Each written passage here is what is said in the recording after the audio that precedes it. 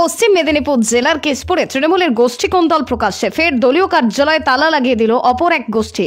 এর আগেও এই রকম ঘটনা ঘটেছে কেশপুর এলাকায়। জানিয়ে রীতিমতো অস্বস্তির মধ্যে ব্লক তৃণমূল জানিয়ে কটাক্ষ করতে শুরু করে দিয়েছে বিরোধী রাজনৈতিক দলগুলি। যদিও এই বিষয় নিয়ে জেলা তৃণমূলের কোঅর্ডিনেটর অজিত মাইতি জানিয়েছেন, এর কড়া ব্যবস্থা নেওয়া হবে। অন্যদিকে বিজেপি নেতা অরূপ দাস জানিয়েছেন, ব্লক স্তর থেকে স্তর পঞ্চায়েত পর্যন্ত তৃণমূলের গোষ্ঠীদ্বন্দ্ব চলছে। সারা বছরই রাজ্যের বিভিন্ন প্রান্তে গোষ্ঠী কন্দল চলে। মারপিট হাতাহাতি কারোর পা ভাঙছে, কারোর হাত ভাঙছে। আর ভর্তি হচ্ছে হাসপাতালে। অন্যদিকে এই সম্বন্ধে সিপিআইএম নেতা নিয়ামত হোসেন বলেন, নেতৃত্ব ঠিক করতে পারেনি তৃণমূল, তার জন্যই এই লড়াই চলছে। আর এভাবে বিদায় নেবে তৃণমূল। আমি বলব যে এটা একটা নাটক, ওদের গোষ্ঠী লড়াই, নেতৃত্ব ঠিক করতে না পারা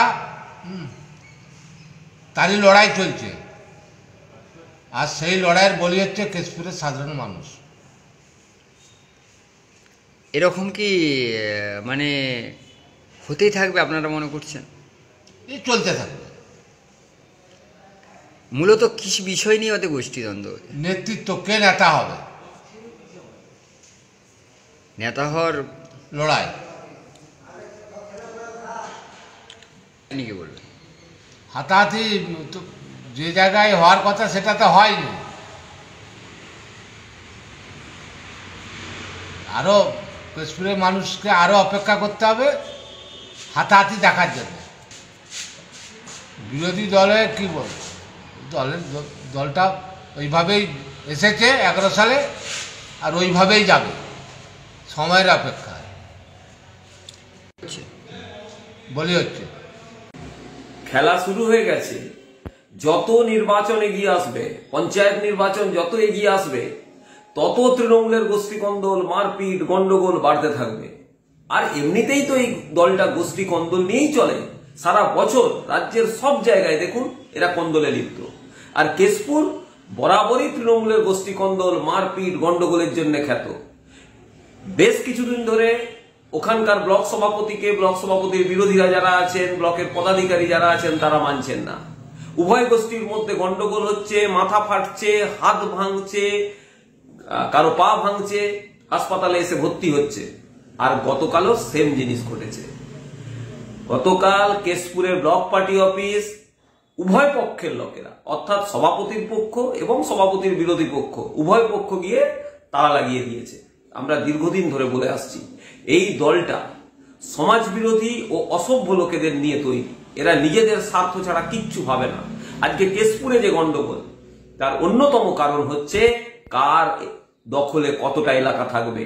কে কতটা এলাকা জুড়ে তোলাবাজি করতে পারবে, কাটমানি নিতে পারবে? কে কতটা এলাকা জুড়ে সন্ত্রাসের রাজ কায়েম রাখতে পারবে? এই নিয়েই তো কেশপুরে গন্ডগোল। এটা সারা রাজ্যে এই নিয়ে গন্ডগোল।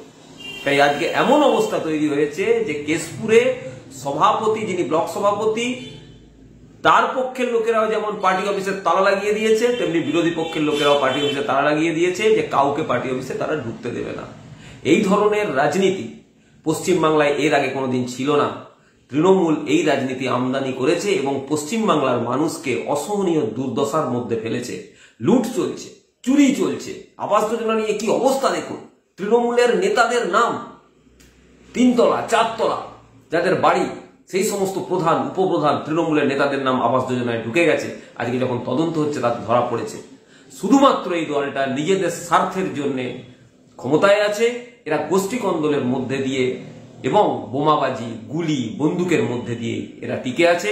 পঞ্চায়েত নির্বাচন যত এগিয়ে আসবে, তত দেখবেন এদের কন্দল প্রকাশ্যে আরও উঠে আসছে। হ্যাঁ বেল পাকলে কাকের কি? বিরোধীরা তো টার্গেট নবান্নের দিকে। গ্রামে নেই, গঞ্জে নেই, পঞ্চায়েতে নেই, কোথাও নেই, নবান্ন চলে যাবে, উড়ে উড়ে চলে যাবে। আকাশে, যাই হোক, ওদের কথা নিয়ে আমার মাথা ব্যথার কোনো কারণ নেই। তবে আজকেই কেশপুর নিয়ে বসবো, বিকেল তিনটেতে। দেখবে, এই সমস্ত ইতিবৃত্তান্তের অবসান হয়ে যাবে। দুটো চার তালা, চারটে তালা, দশটা তালা, কে কে তালা মেরেছে, সব তালার আজকে আমি ঠিকে করে দেবো, হিসেব করে দেবো। হিসেব করে একটা একটা লোককে ধরে ধরে ধরে ধরে যা নির্দেশ দেওয়ার দেব, যাকে সাইড লাইনে পাঠানোর পাঠাবো। কেশপুরে কোনো বড় সমস্যা হয়নি। কাল হয়েছে কিছু কথা কাটাকাটি, হয়েছে। আসলে একটা তো মানে মনোমালিন্য কোথাও একটা থেকে গেছিল, সেই জায়গা থেকে কোনো মারামারির পর্যায়ে পর্যন্ত যায়নি। তবে আজকে ডেকেছি দুপক্ষকে বিধায়ক সমেত। দেখবে কেশপুর বসে ঠিক হয়ে যাবে। আমি সেবারেও তোমাদের বলেছিলাম যে কেশপুর নিয়ে কোনো বড় অশান্তি আমরা ঘটতে দেবো না, ঘটতে দিইনি। শহরে এই প্রথম আসামের উন্নত মানের কাঠ দিয়ে তৈরি প্লাইউড এবং মেঘালয়ের পাইন কাঠ দিয়ে তৈরি ব্লকবোর্ড ও ফ্ল্যাশ ডোর, পঁচিশ বছরের ওয়ারেন্টি, ডিসিএম প্লাইউড, বাংলায় একটাই নাম, ডিসিএম প্লাইউড, জোড়া মন্দির, কাঁচরাপাড়া।